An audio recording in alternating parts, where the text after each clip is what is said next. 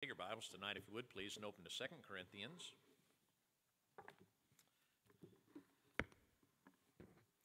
Second Corinthians chapter number 12. 2 Corinthians chapter number 12.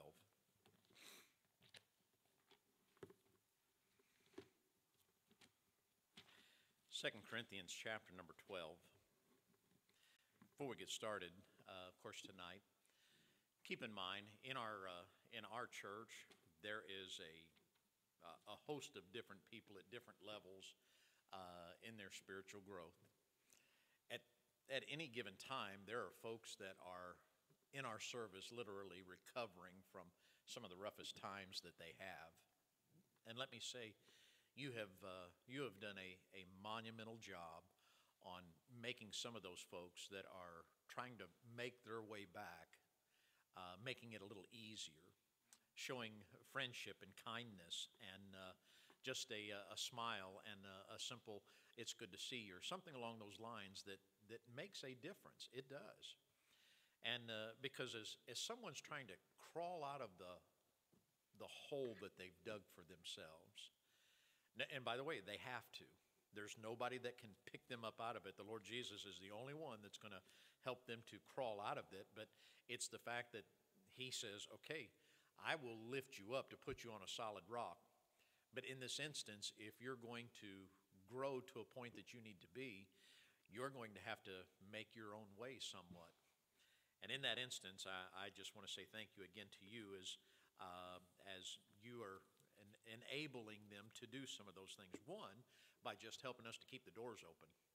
Honestly, the, there are folks that, uh, the truth is, they, uh, there are folks, I'll tell you right now, uh, that have said in our services before, and uh, whether they've gotten away from the Lord or something along those lines, and they, they have uh, found themselves on the other side other side of the uh, the doorways, the walls, and things of that nature, and they have said, "I, you know, I don't want to have anything to do with God. I don't want to have anything to do with with God's people and things of that nature." But there usually, there usually comes a day where they begin to, like the uh, prodigal son, came to himself, and then he realizes that the the greatest help that I'm going to get is going to be from God, God's people, and the house of God, and the principles of God, and the book of God. And, uh, and they, they drag their way back in. They're, uh, they wonder if they're going to be able to ever get back on top side, whether the light will ever shine on them again and things. And then they, they come in here, and you help laugh, and you help make the load a little easier on them. And, uh, and it goes a long, long way. It really does. And so uh, let me say for those that are trying to make their way back, they may not know how to say it, but thank you, church, for, for helping them to get to that point as they make their way uh, on the road. Second Corinthians chapter number 12 tonight. You and I are going to look at something that uh, is sometimes troubling to us. Because the truth is, it is sometimes something that we haven't really asked for. And by the way, it is, it is not because we were disobedient it was not because we have, uh, we have done those things that we shouldn't. The truth is, it's because we have done those things we should. And, uh, and we have seen the, the blessing of God, and we have seen God's favor. And we have, uh, we, we, honestly, when we know that when we pray, God hears and, and something's going to happen. That's a, it's a wonderful place to be. But in that instance, we know that uh, even though it gets God's attention, it gets Satan's attention, and he can't get at us to some degree. I mean, he tries, but the only way that he can get at us is if we kind of open the, uh, the hedge of protection a little bit, as Scripture says in, in the book of James, that every man is tempted when he is drawn away of his own lust and enticed. So when we are drawn away somewhat, uh, he, he comes after us. But the truth is, you say, you know what? I, I, those things don't trouble me as badly as it is. But I want you to take note of something tonight as that Paul had addressed, and he he, he addressed it because he knew that it was going to be relevant for others also. Because otherwise, he wouldn't have made mention of it, and that's the reason why God put it in Scripture. And the way that he described it, and the way that he gave a little bit of ambi- ambiguity to it, um, means that it can apply to you and I also. So, notice, if you would please, in chapter number 12 and verse number 6. For though I would desire to glory, I shall not be a fool For I will say the truth, but now I uh, forbear lest any man should think of me above that which he seeth me to be, or that he heareth of me. And lest I should be exalted above measure through the abundance of the revelation, there was given to me a thorn in the flesh, the messenger of Satan to buffet me, lest I should be exalted above measure.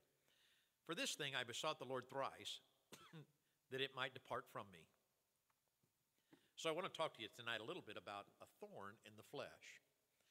All of us know what a thorn is because we have had the occasion uh, to be uh, involved with some of those little stickers at some point. In the, uh, in the summertime, even here at the building, now how they came up or what, I don't know. Uh, but the little, uh, I call them little sand thorns. And, uh, and we have some that are right outside the, the front of the, the little carport area there. When I was in school, the thing that we would do is if you got them by just the, uh, uh, oh, the, the little, the, the, we would call it stem, you could pull them out, it wouldn't stick you. But if you threw them and stuck them to your friend, oh, they would stick so well. And, uh, and it would stick through their shirt or their socks just enough to, ow, you know. And if you're not careful, if you go to reach for all of them, you get a handful of them. And, uh, and you know those are not comfortable at all. Just those little burrs, those little, not enough to just, you know, just throw you out of commission. It's not a wound that's not gonna, unless uh, it, there's something that can get festered along those lines. But it's it's that thorn, it's that little irritant, it's that little that little uh, that little splinter that happens to get in your hand, and you deal with it. But uh, you know, if you move just right, it kind of hurts, and it's like I got to get that dug out and, uh, and then you have to uh, uh, work on, on getting it out. But it was a, a thorn. That thorn is there because uh, in the process of doing your daily task or in the process of doing whatever you're doing, uh, it just happened to catch you. You were doing what you were supposed to do, maybe you were working or whatever the case, and you ended up getting that little splinter, that little sticker, that little thorn, if you would. And it's there, and you've got to do something with it. Because even though it's not going to completely stop you from living. It's just that constant irritant. And in this instance, we see here that uh, Paul realized a couple things about it. And uh, it, but uh, literally, the thorn in this particular instance, as you begin to look at it, it, it literally means a constant irritant. It is that little thing that just kind of annoys you and that just pricks at you just a little bit and just sticks you at a time when it's just kind of inconvenient, you're not expecting it. But it is a reminder because it caused that shooting pain and all of a sudden it gets your attention again. It's just irritating. We see here in verse number seven, the Bible says, Unless I should be exalted above measure through the abundance of the revelation, there was, I want you to notice this first word that is noticed there. It was given. Given. You see, the thing that sometimes we think is, well, if the devil's bothering me, it's because he's just after me. I want you to understand that sometimes a thorn is given, and when it's given, it, I, I, it, it was stated like this to me one time.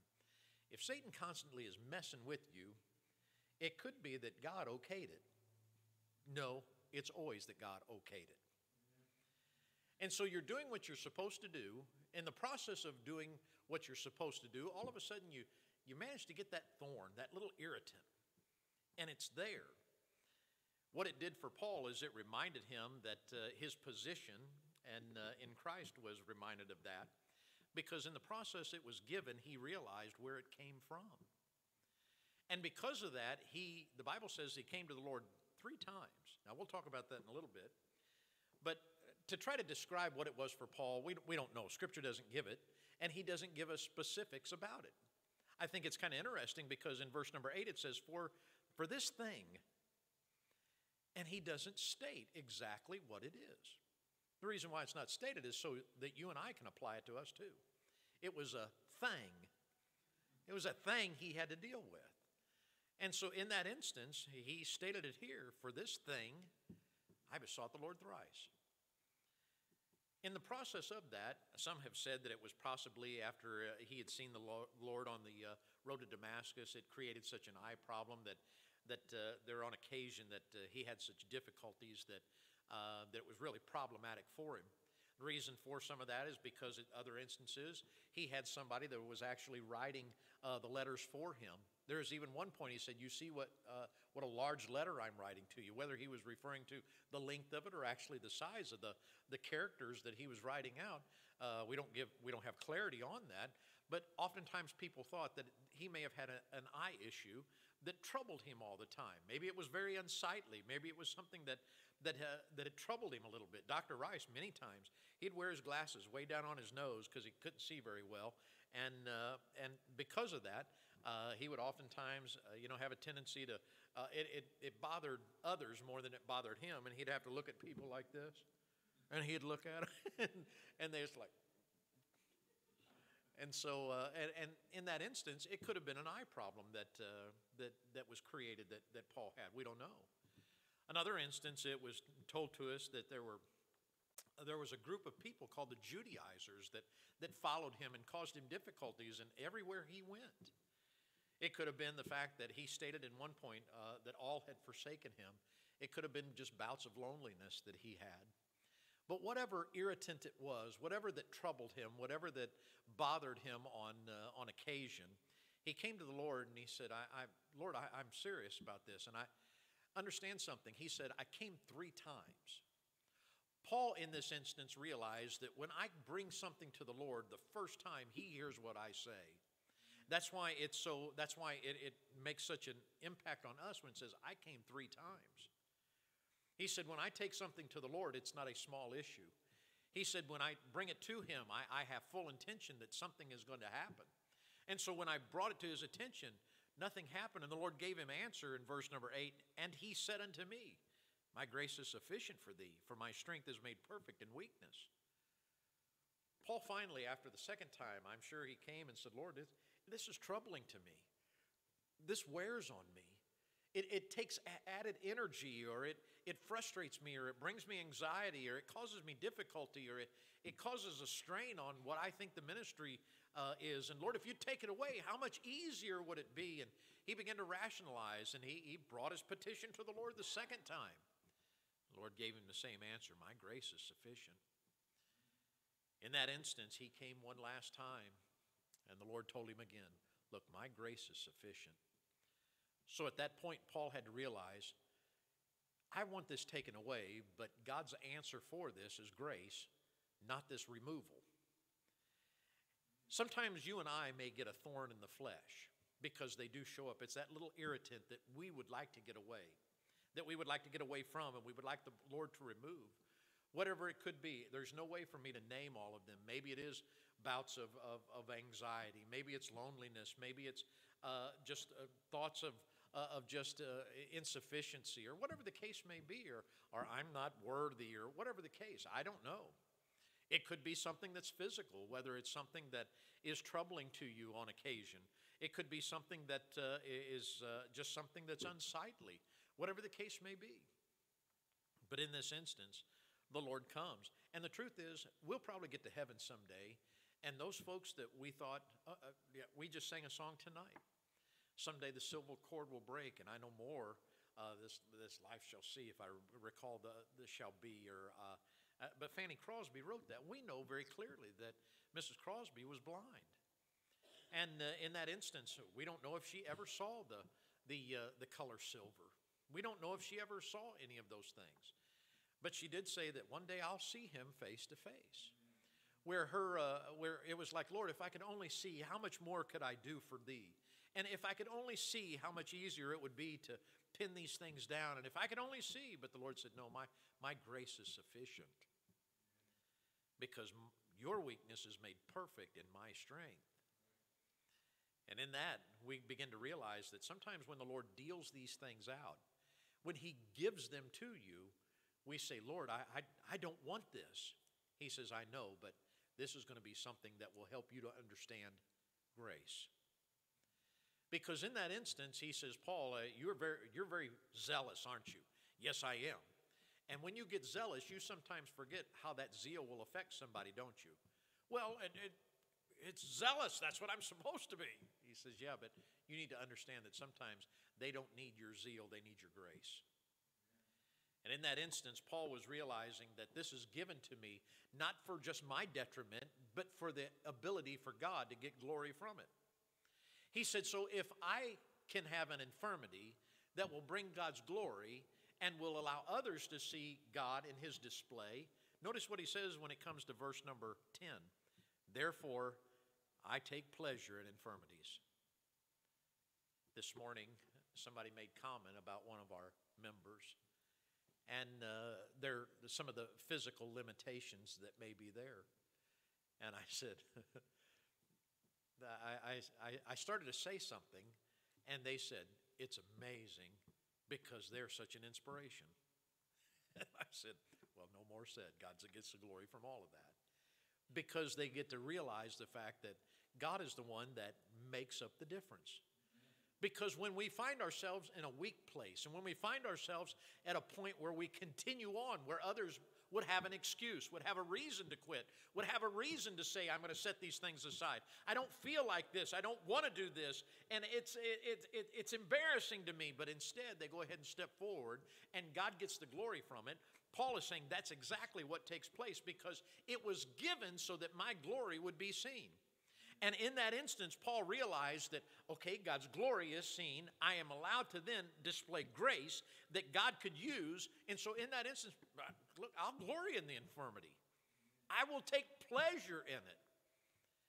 That's hard for you and I to accept sometimes.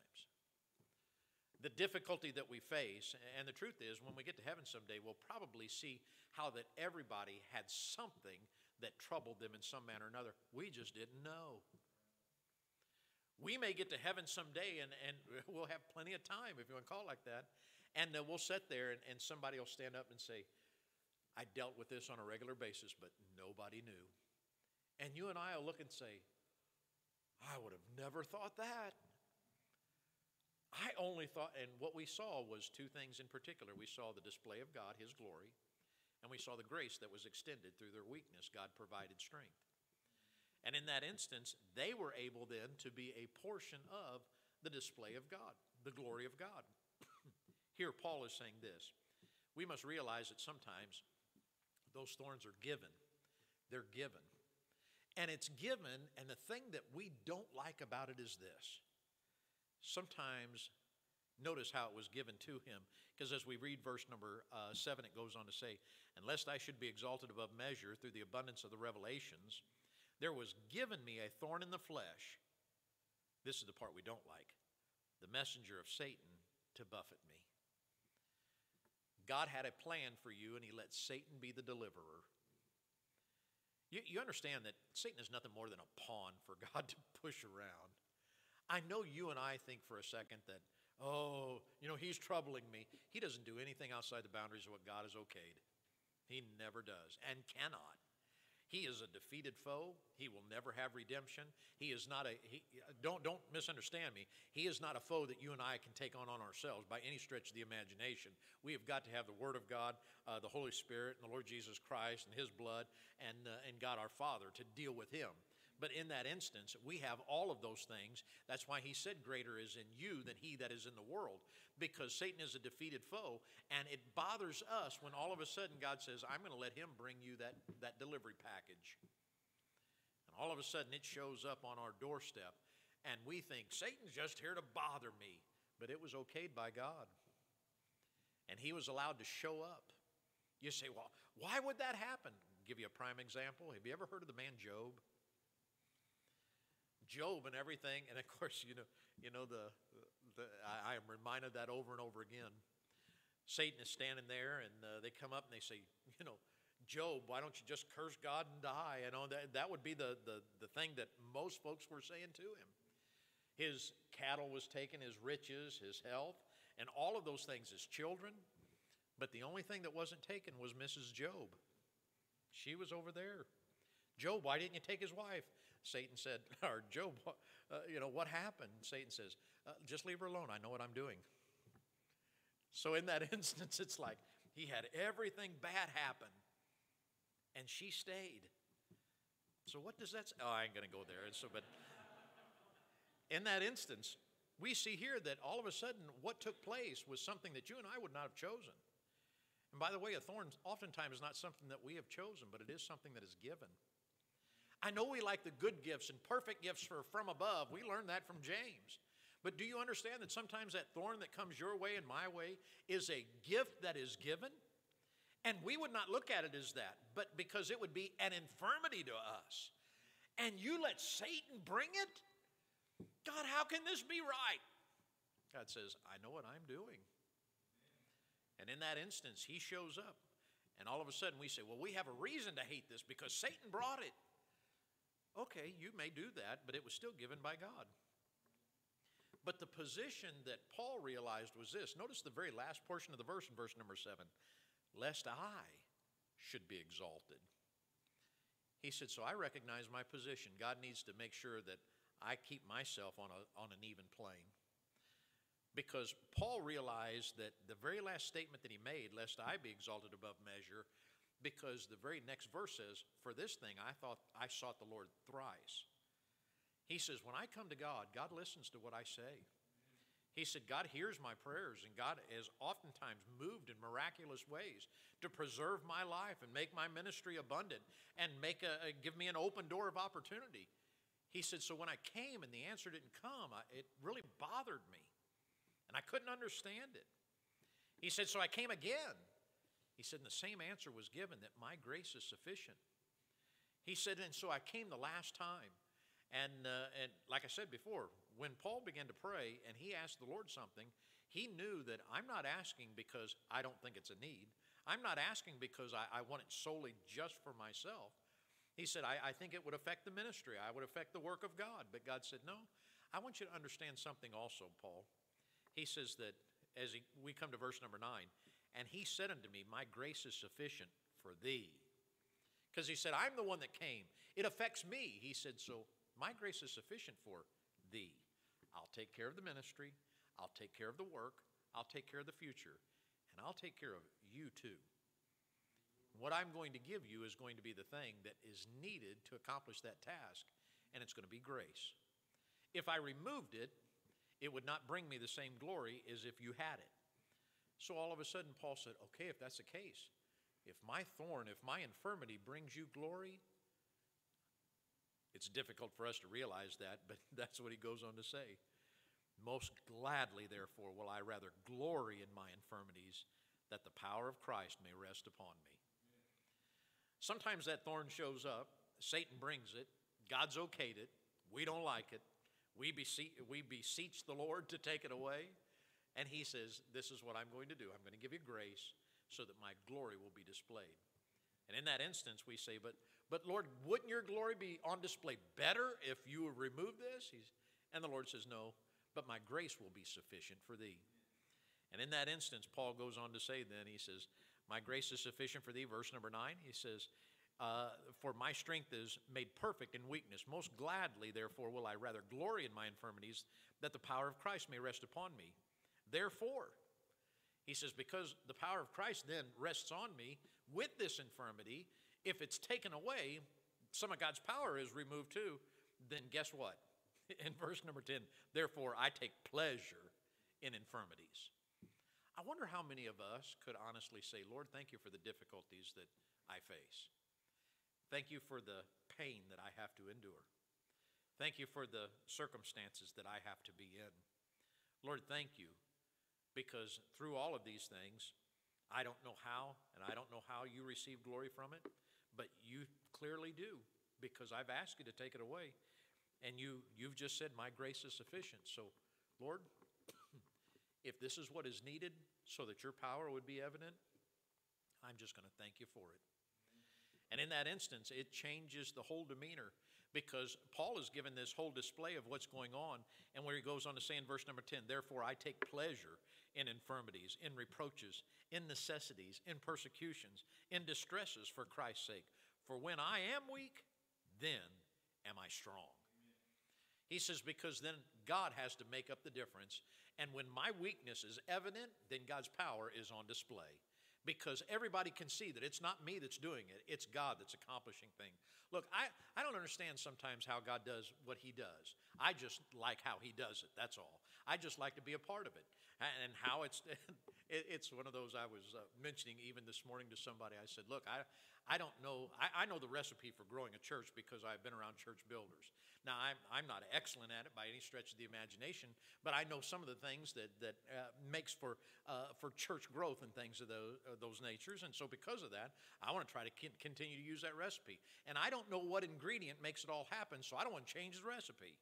I know folks have oftentimes come and they've said, I don't like how you do this. I've said, sorry, can't help it. Don't care whether you like it or not. All I know is a recipe that works. That's all I know. And in that instance, you may like pancakes, and if you do like pancakes, you know the recipe to make them good. Some of you can make excellent pie, and you can make excellent crust and cookies. And I'm throwing out an invitation to let me try any of them. But uh, in that instance, you know something and how it's made. And in that instance, look, look there's no necessarily just you know the recipe and what it's supposed to look like and what it's supposed to act like. And uh, in that instance, I know uh, there's been a couple different times. My Aunt Reen, now she, she's gone now, but she made the best dumplings that you have ever eaten in your life. I'm not kidding. There's no way to describe them. Your tongue would literally begin to sing the Hallelujah chorus on key after eating these. I'm not kidding. And, uh, and I told Mrs. Whitwer, I said, look, my Aunt Reen, she makes, she makes the best dumplings you've ever eaten in your life. They will just melt. You ask anybody in my family, they say, oh, yeah, Aunt Reen's dumplings, they just melt in your mouth. And they do, and they did. And so I talked about them, and she called my aunt. And uh, it, was not Aunt Irene. That was not her name. Her name was Aunt Reen. And, uh, and so Aunt Reen, you know, she called my aunt and said, and asked her, you know, uh, Aunt Reen, how, how do you make these? And uh, do you have the recipe? and she said, Oh, honey, what you got to do is you got to put flour in here, and then you put a little milk in there till it looks like this. And then she didn't have a recipe for it; she just had made them and knew what it looked like. And so, uh, as much as as much as Mrs. Whitworth has tried, and she does well at doing a lot of things, and uh, but that's just one of those things. There's not a recipe in that. And uh, Aunt Reen had the, had the recipe because it was how it looked, and a little bit of this. And, you know what I'm talking about. You all have a, a job where you have, you have done it so regularly that you know what it's supposed to look like, how it's supposed to operate, and what it's supposed to do. And if you and you recognize the very second, oh, it's a little too thin. You recognize that, oh, there's it needs just a little bit more of this. It needs just a little bit more of that. Or you taste it and it needs a little bit more of that. And you know what that is. But you know if you don't operate according to the recipe that you know what it's supposed to look like, taste like, and act like, it is not going to do what you wanted it to do.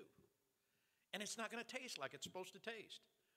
God comes to you and I and says, I know the recipe for a good and productive life. I know what it is. I don't need man's help. They've messed up everything that man put his hand to.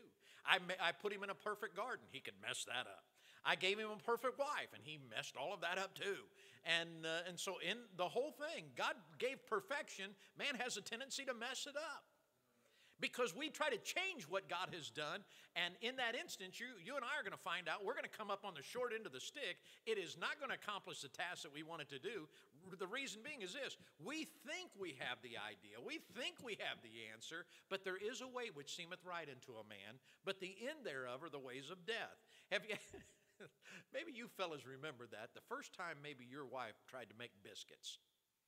Do you remember? Oh, it got quiet. Oh, yeah, you do remember. You're a wise individual not to say, oh, yeah, I remember that. Maybe you remember the fact that it wasn't as edible as you was hoping it would be. I'm trying to be kind here. Or maybe you say, no, from a, from a young person, you know, uh, she was able to make biscuits and things.